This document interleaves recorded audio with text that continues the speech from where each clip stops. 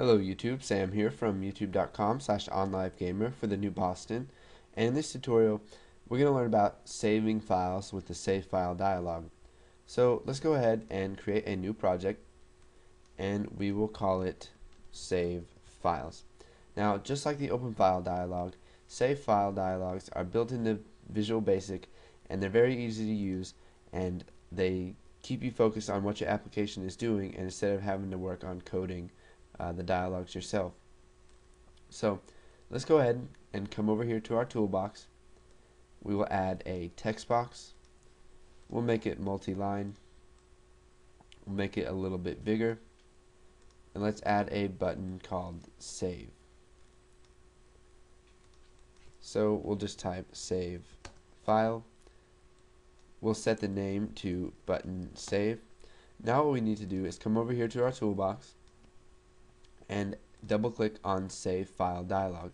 Now this will create an object of Save File, di save file Dialog um, that we can use in our program. So let's go ahead and double click on Save File to open up the event handler for that.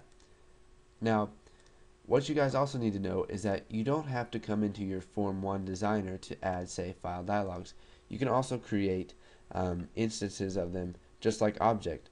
So dim my file to save as new save file dialog. So you can create object create objects with them um, inside of your code. Um, so that's just another way of doing it, and this is what the designer does for you. When you add stuff to the toolbox, it just makes objects of it in your code, but it's saved in a different file.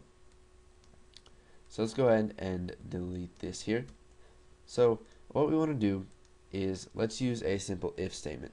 So if textbox1 dot text dot length is greater than 0 then we'll go ahead and show the dialog because we can't write nothing to a file so we'll type save file dialog 1 dot show dialog and now what we want to do is we want to save the file um, to whatever they named it. So we'll just type system.io dot file dot write all text.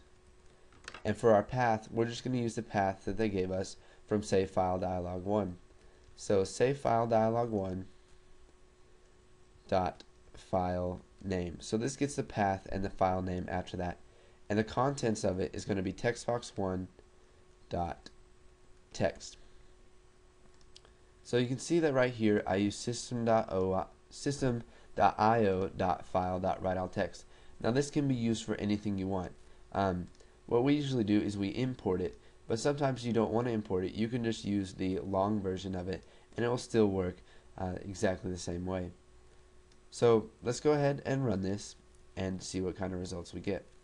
So let's go ahead and write coding in Visual Basic is fun. So when we click Save File, and when we click Save File, it opens up this Save File dialog. The default title is Save As. So let's go ahead and go to the desktop, and we will save it as um, corn.text. Now you can also set filters so they can so that they can only save it as certain data types. And we'll be going over that uh, in later tutorials. So it's going to be saved as corn.text we'll go ahead and click save. And you can see here well you can't see it but I have an, a file on my desktop. Let me just drag it in right there so you can see it. And let's go ahead and open that. And you can see that it says coding in Visual Basic is fun. So what we did is we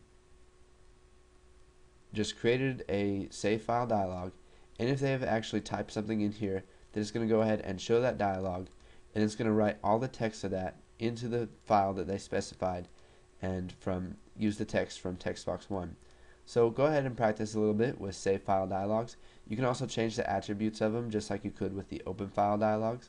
Um, and then once you've got those down go ahead and move on to the next tutorial